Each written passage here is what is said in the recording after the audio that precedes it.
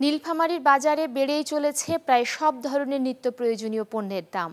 সপ্তাহ ব্যবধানে ঊর্ধ্বমুখী চাল, ডাল, তেল, আদা, রসুন, পেঁয়াজ, চিনি, ডিমের দর। ফলে হিমশিম খাচ্ছেন সাধারণ খেটে খাওয়া মানুষ। বিস্তারিত রাহান সবুক্তিগিনের রিপোর্ট। সপ্তাহের ব্যবধানে নীলফামারীর বাজারে চাল, ডাল, চিনি, তেল, গুঁড়ো সাবান সহ নিত্য পণ্যের প্রায় সবগুলোরই দাম বেড়েছে পাঁচ থেকে দশ টাকা। তবে চালের দাম বৃদ্ধির কারণ হিসেবে মিলার ও বড় মজুদদারদের কারসাজিকে দায়ী করছেন ক্ষুদ্র চাল ব্যবসায়ীরা। গত এক সপ্তাহের মধ্যে থেকে চাউলের বাজার একটু বেশি। এলসি আসাটা বন্ধ হওয়ার কারণে চাউলের বাজার প্রত্যেক বস্তায় একশো টাকা বেড়ে গেছে। মুসুরের ডালের দাম বেড়ে গেছে। ইভেন আপনার আহ, সব ধরনের সাবান পাউডার এগুলোও বাড়ছে। কেজি প্রতি দশ টাকা করে পাউডারে বেড়ে গেছে।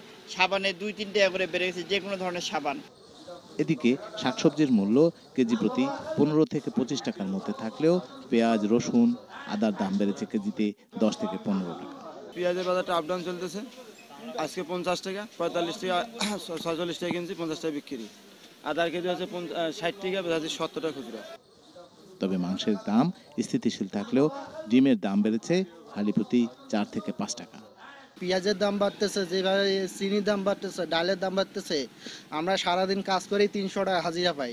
খরচ করতে হচ্ছে চারশো টাকা। ঈদের আগে তো জিনিসপত্রের দাম বেশি থাকে। তা এখন তো আবার ঈদের ঈদের পরে তো ঈদ বাইরে এখন তো দেখেছি ঈদের আগে চাইতে অনেক বেশি এখন। নিত্য প্রয়োজনীয় পণ্যের এমন ঊর্ধ্বগতির সাথে তাল মেলাতে হিমশিম খাচ্ছে নিম্ন আয়ের মানুষ। রায়হান সভুক্তগেন চ্যানেল টোয়েন্টি ফোর নীলফামারী।